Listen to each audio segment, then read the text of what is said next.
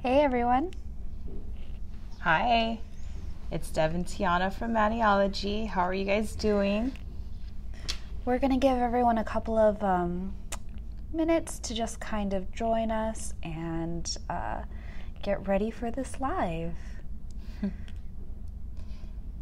Oh gosh, all of a sudden it just started pouring outside. Yeah, it's raining in Hawaii. Our um, a lot of people think that it's sunny year round. It's not. I mean, for the most part, yes, it is. But we have dry season and wet season. So um, We're definitely in our wet season right now. yes, wet season is usually a what from like November to February. Yep, pretty much. We love it during wet season here. we like. It's funny because. Um, even though we're surrounded by sun, we actually like cold weather in Hawaii. There's a lot of us who really Well, at least like we do. cold. Yeah, At least we do. there's several of us who like cold, dark, gloomy weather. Okay, well, let's get started. Um, so, again, this is Tiana and Dev. Thank you so much for joining us. And today we are going to talk to you guys about setting up for success. Yes, this is a huge topic. We always get so many inquiries from people of asking, you know, how do I protect my workspace? How do I do this? How do I do that? What So- do you use to clean up the plates? We're not going to dive into all of that. We're going to keep this really basic and do a, a little short show and tell, nail education um, for basically how you get started at stamping and then also how to not ruin your workspace. Yes, we've had a lot of people who are not familiar with acetone and how acetone can pretty much eat through your entire station. Um, so we want to kind of cover that for all those people who are like, what am I doing wrong? Why is my um, workstation uh, completely ruined and has all these awful acetone marks? So. But I think before we dive in, um, for those who are new, who are just joining us, uh, we are Maniology, and um, we, in overall, we want to empower you to be creative and to express yourself one manicure at a time. And Dev and I are a part of the creative team, and so we're here to kind of help walk you through the whole nail stamping process. So today, we're just going to do something really quick for you and kind of show you how to set up your workspace. And again, if you want to see any of these things up close in more detail, um, pricing, anything like that, then you can just go to www.maniology.com and check all these things out. Yes. Or even leave us a question. Uh, we'll definitely have some time at the end to maybe answer some of those. Let's get started. So, the first thing that we want to talk about is setting up your workspace so that way acetone doesn't eat through everything.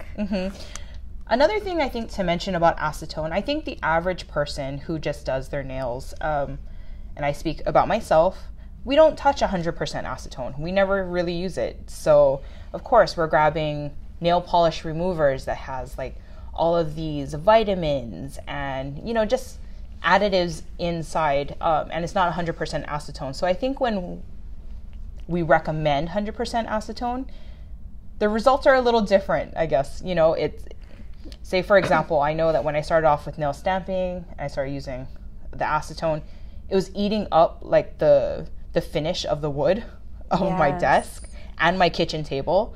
So that wasn't really nice. Um, I remember using heavy duty black trash bags as my workspace. That wasn't very pretty. Yeah, and then also acetone does eat through plastic. So that's the thing that a lot of people know uh, don't realize about acetone. There are, um, for example, these bottles are acetone resistant. Um, there are special plastics that are resistant to acetone. However, not all plastic is resistant Yes. to acetone. That is the reason why we don't. We tell you do not get acetone on your stamper uh, holder because it's not resistant to acetone. I think it- it'll start to get cloudy too. That's Yes. Many, I think, in our experience, shiny, very clear plastics are not acetone resistant. That is correct. That's why also a lot of these bottles that you see that are sold at the grocery stores are all this kind of like milky plastic. Um, I don't know why, what the cause is for that, but it just so happens that, um, yeah, clear plastics usually are not immune to acetone. so when you are setting up your workspace, um, be aware what kind of table do you have? Does it have some kind of black paint on it or a brown stain of some sort? Um, And we're using glass. This is glass right Yes. here. If you have glass, that is the best. If you don't have glass, that's okay. We're going to tell you about some amazing things that can help you. Um, so, yeah, acetone pretty much eats through everything. so, um, newspaper, also, I know a lot of people that will use like newspaper or old, you know, just scratch paper that they have. Acetone won't eat through your paper. However, the ink on the paper will um, run. I notice if you put like your acetone soaked cottons on that, it'll run, and then the ink from um, newspaper will end up bleeding all over the place. That's not fun. Yeah, not definitely not fun. So I guess first things first. Let's start off with what you will use to actually put down on your tabletop or your workspace, and let's kick it off with the the lotus mat. So today, because you know we only have a little you know small space to kind of show you what we're working with, we're actually using our lotus mini instead of the the larger size. We definitely recommend the larger size, the original one, which is about I think it's about 14 inches long um, and wide. So it gives you more play space. But Yes. this is a silicone mat. Yep. And Devon can show you it's extremely flimsy too, so you can fold it. We don't recommend um, folding it in half, but I guess rolling it is what I meant. Yeah. So, So- you, you can roll it up and store it pretty easily. Um, and It's also, acetone resistant. yes, it is acetone resistant. So I'm going to show you right now. just going to put some polish on here. So that's another thing. What can you use this mat for? I'm sure people are kind of wondering that. Uh, this mat, aside from being acetone resistant, is made for swatching, so you can put polish onto your uh, mat. You can create decals if you're advanced. You can stamp on this. You can basically kind of map out your manicure um, before you go ahead and put it in your nails.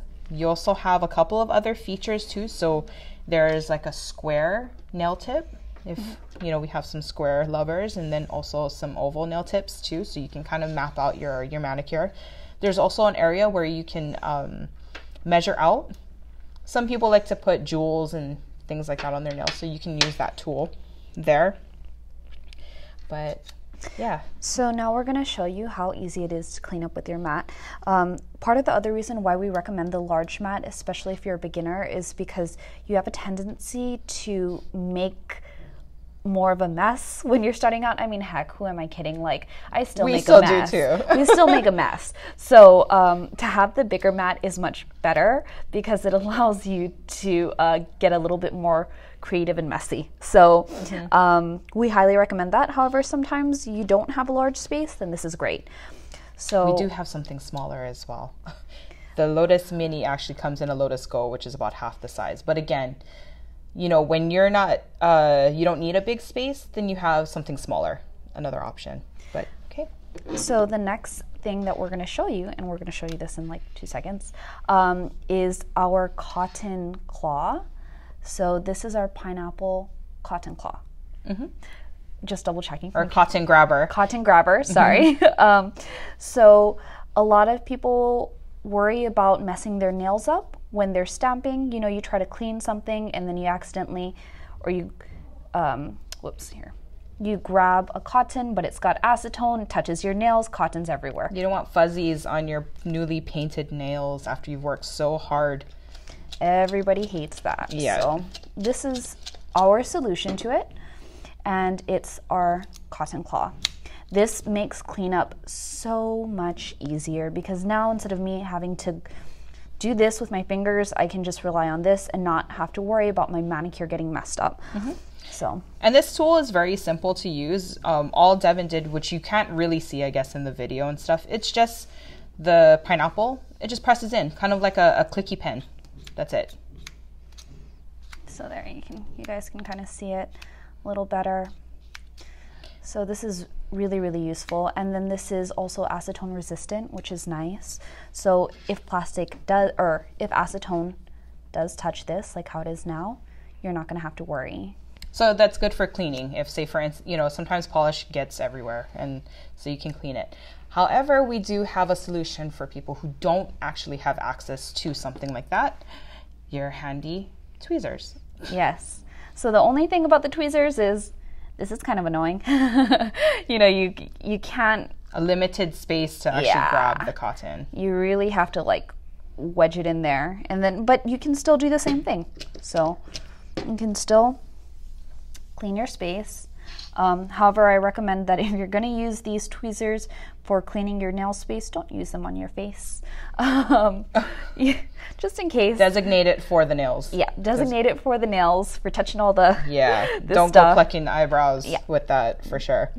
So um, definitely try that out. Um, I see that there are some people who have mentioned that they have the Lotus mat and that they absolutely love it.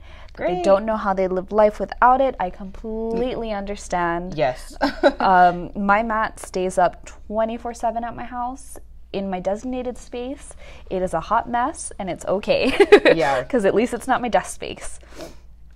Um, okay, so moving on. Some other important things to have when you are getting started with nail stamping. So let's introduce this baby. This, This- is the sticky stamper station. So there is a peel tab here, and you want to make sure you peel that back. You can use this to plan out your manicure, write your notes or whatever, and you can also use this side, which you can see is glossy, to do decals on actually. Oh, can we see the gloss? Oh, Yeah, there you you go. You see- can kind of see a sheen. Yeah. So this glossiness is perfect for creating decals, reverse stamping on it. Um, and sometimes what I'll do is I'll just fold this up. So that way if I have notes, I can look back at it. And also, you know, usually you don't need the whole sheet when you're working. You just need a half sheet.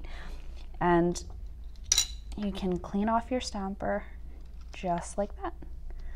How simple that is. Yeah. And that also, um, I also use these sheets too. Like, say, for instance, if you need to kind of isolate or kind of clean off your stamper, if you've picked up a, a design that's maybe like you over picked up, you could also use it for that too. Um, yeah, this pad is extremely important to have on your workspace. Um, and it also comes with refillables. yep. So once you've run out of your last sheet, don't can- worry. We have refillables for this, so you can keep your your beautiful little pad here mm-hmm. in a, your case. Yes. And the other thing is placement of these items. Mm-hmm. So if you are a right handed person, the things that you're going to need the most should be close to your right side. So, for example, if I'm stamping um, and I quickly need to clean off my stomper, it makes sense for me to just go to the right versus having my stamper uh, stamping station over here and then I have to cross over. Those Here. kinds of things make it very inconvenient. Yes, I, I do agree. Um, that's another thing about setting up for success and, and, and properly organizing your workstation because the act of stamping is like a seven second you know um, act in between from the time you put the polish down on your plate to the time that you're scraping and picking up. Everything needs to happen very quickly to the time that you, you put it onto your nail. So making sure that your workspace is set up so you can do all of these acts from the scrape stamp um, is very important to get a really good stamp Plus, I don't know how many times I've reached over yes and then got polish all under here, not realizing that there's still wet polish here. And if I had just put my stamper, uh, my stamping station on the right side, I could have saved myself from having to like clean up polish all underneath my hand and my arm. I'm sure tons of you have uh, experienced that too. So we still do i mean to be honest when we're testing and you know we just do that but you don't want to be scrambling looking for things when you've already picked up the design you want everything to kind of just be right there so just help to avoid and make sure that you get the perfect stamp onto your nail again organizing your workspace is is number one Yes, it is. So we set up our polishes and things like that as if we were going to stamp. Um, usually, of course, they wouldn't be laying down on their side like this. We're only doing this so that way you guys can see it because if we showed it from the top up, you would just see black bottles. so um, we light it down on the side so you can see what kind of things that we usually like to have. So usually in a regular setup, you want to have a cuticle protector. That way it also helps your cleanup game. You don't have to spend hours and hours cleaning up. So if you've never seen this helpful little tool, um, Dev, can I use your finger? Yep, sure, go right ahead. Okay, I'm sorry. We're, I'm trying to do this on the camera so everybody can see. But basically, this is a cuticle protector. This is our Mani Mask. And what this helps you with is to make cleanup a whole lot easier. So as you can see, I'm just putting this layer around the cuticle and it will dry. Yep. I going to glob it on because it makes it a little bit easier for me to pull it off.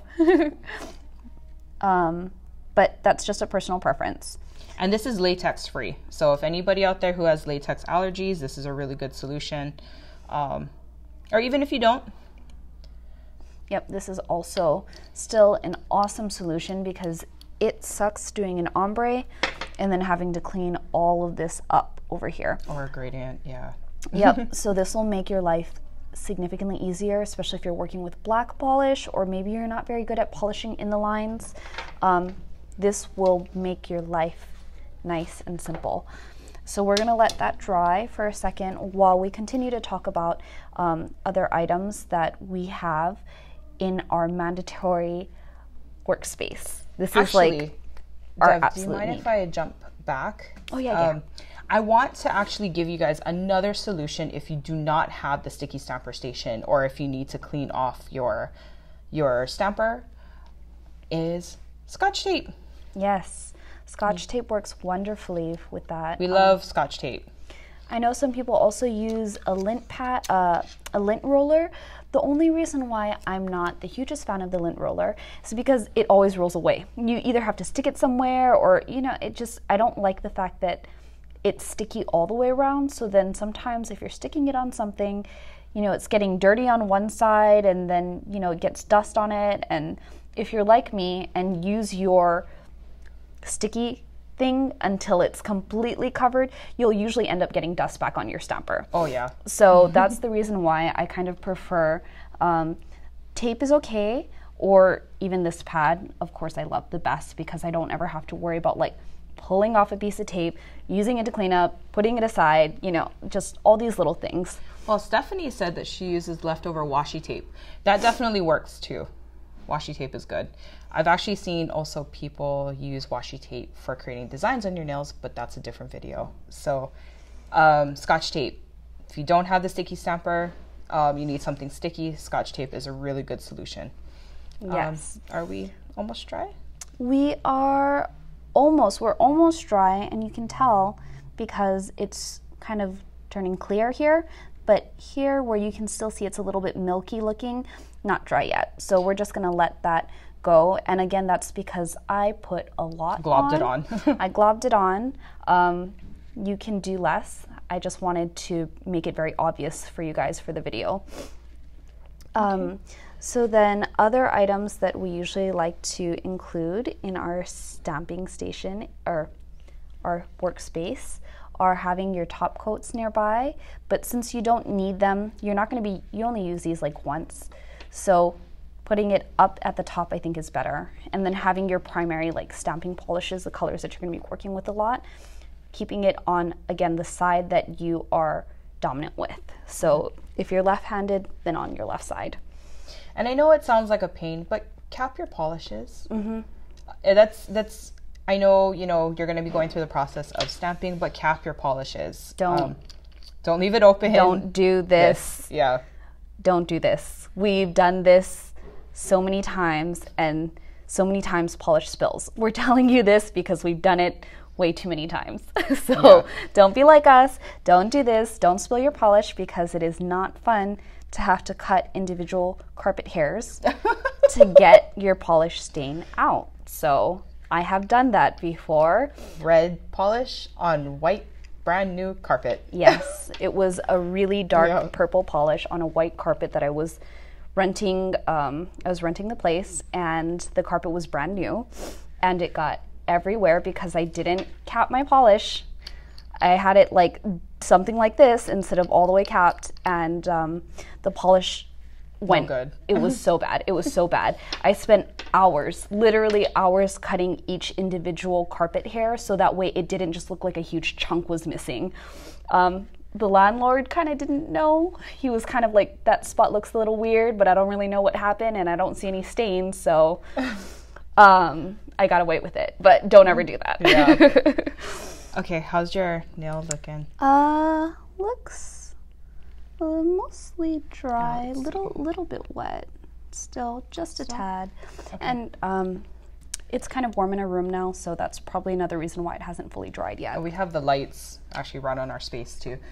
Um, so another thing I think that's really important is your cleanup brush. To have your cleanup brush nearby um, because you will need it just for the little nicks and things. But I guess basically, if you're ending off your manicure, you can't end off without putting cuticle oil, which is very important. So Yes, use especially your this cuticle oil. Yep. Especially during these winter seasons. I'm sure a lot of you live in very cold, very dry places. So make sure you're having a good cuticle oil and like moisturizing routine for your hands. We see a lot of people who complain about like polish staining their hands. A lot of times it's dry skin that is around their nail, and that's what polish loves to cling to and stain. I hope your landlord isn't watching. Yeah. yeah, Harmony, we hope so too. yeah, we hope so. Well, he, you know, it's I don't live in that place anymore, so I don't gotta worry. I got my deposit back. um, okay, so I think this is pretty dry. And Tiana, do you want to peel it? Let's see. Okay, I'm part of the Nub Club right now, so if oh, it- there oh, you go. Okay. Perfect. So it is kind of stretchy. Do you see that? Oh, and so satisfying too. Yep. Just got a little bit over. So if she had painted, then the paint would have been on this or, or the stamp, the remaining stamp, and basically her cuticle would have looked all nice and pretty. Yep. With minimal cleaning or no cleaning, you know. yes, because it doesn't help to like go like this. You just end up with polish everywhere. So Well, and I remember the days of doing gradients when we didn't have a solution for that. And basically, actually, if I remember correctly, and if you, all of you have been doing gradients for that long, scotch tape was actually the solution to tape up the cuticle. That's crazy. Yeah. So now there is Mani Mask. yes, Again, latex free, so anybody can use it. yes. And um, yeah, this is it. To to have a successful stamp is to have the tools ready, you know, available for you, um, and set up in a really nice, fluid way, so it makes stamping as easy as possible for you. And we actually do have a little hack as well that we want to show you. So our uh, coworker Carol, she showed us this really awesome trick that she does to also make it easier when she's cleaning up. And she has a little glass jar with a plastic cover. I haven't really seen these glass jars, but they look like um the baby food size containers with like the wide mouth. Yes. She doesn't she says she doesn't fill it all the way to the very top with cottons because she I mean we don't know if this is acetone resistant. So it's fine to just do it like this where you have some. But she says she puts acetone on this so you can't It's see damp. it, but it's already wet and you can just pick it up and, And start wiping instead of having to pump, pump, pump, and then worry about the acetone splashing all over the place. Mm-hmm. For those of you who do have the pump, you do know that that sometimes happens when you pump this thing. Sometimes it squirts Splashes out. Yeah. Yeah. I've had that happen. Yep, and then it ends up splattering on you know something maybe you didn't want acetone to touch. So doing it this way, if you just pour a little bit of acetone with some cottons, um, makes it nice and easy. So that way, all you have to do is just grab one and wipe it and throw it away, instead of having to again pump. Like a face pad, basically, Yes. with your solution, but acetone instead. if you have a cap, um, a cover that is metal, that'll be even better because then you can fill it up all the way if you want. That's completely up to you. But if not, this works fabulously too. And we love this idea. I've, I don't know why I never thought about it. So I'm definitely gonna have to try this out. Okay. And Yeah, I think that kind of wraps it up. Again, if you see anything here that we're using, it's live on the site. You can go ahead and pick it up. And again, we're Maniology. You can find all of these items at www.maniology.com. I know we have some fans here who are saying that they absolutely love these products. They love the co- the pineapple grabber. Thank you so much for you know supporting us and for sharing your nail stamping journey. And I think we have some time for some questions, so we're just gonna kind of scroll through here. someone had mentioned that um, they had a friend who really covered her uh, lotus mat with lots of polish. Who, and I may know this same person. She sounds familiar, like a friend that I also have, who has completely covered her station and has never cleaned it, uh, never cleaned any of the hardened polish off of it. So the best way to clean it, I would say, is to use acetone. It is annoying, um, and maybe a lot of that dried polish can just kind of flake off. I was just about to say that too, because um, I don't know if I'm that friend, but I am definitely that girl that after I've worked so hard on my nails, the last thing I want to do is clean up. But again, you know that that's my preference. Um, so polish will be left on the lotus mat, but what I have noticed is, you know, over time polish will start to kind of peel. Uh, Um, yeah, I guess it kind of flakes up. So you can go with tape and kind of tape off some of those. Maybe you can kind of brush off the mat a little. Or when I said tape here, so assuming that there was polish over here, you could kind of pick it up like this, and so you would have tape Yes.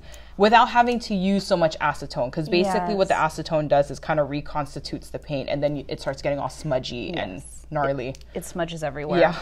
So um, you can use tape. You can even use these stamping station pads. Like if you wanted, you could just take one and go over and get as much excess off as you can. And then after that, using Carol's trick, um, you could just go in with your pineapple cotton claw or cotton grabber, I mean, and wipe the rest away.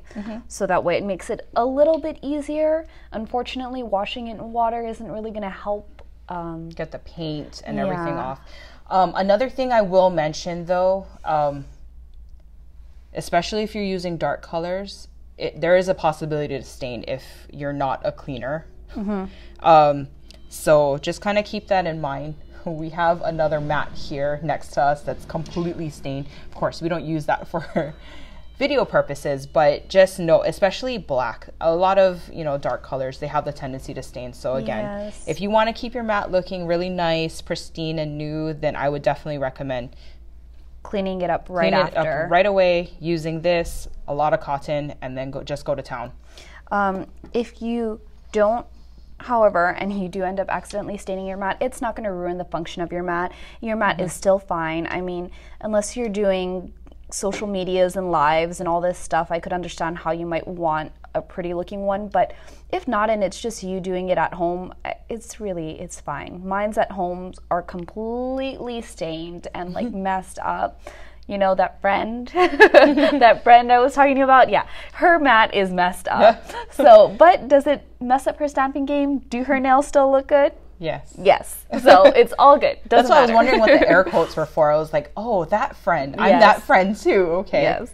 Asking for a friend kind of thing. so yeah, these are some things to keep um, in mind, and also. Yeah, I think that's pretty much it. We covered it all. Let me see if there's any other questions that you guys had. Um, think I see a lot of comments talking about how people love the mat and love the cotton grabber, the pineapple cotton grabber.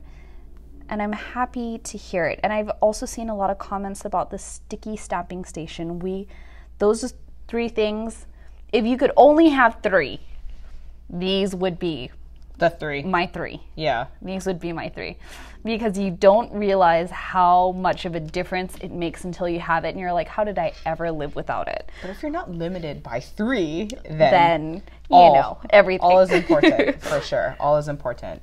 But um, I think we're gonna sign off right now. You know, we just wanted to pop on to to give you guys a really short video.